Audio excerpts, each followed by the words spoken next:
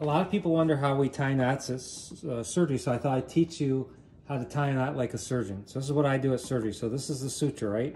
So what I do is I take my finger like that, like that, and I do a backhand.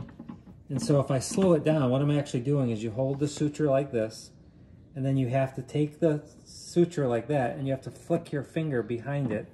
That's the forward knot. And then the backward knot, you have to you have to bring it the string like this, cross over. This middle finger comes through like that, pulls it through, and that. So that's how we tie knots of surgery.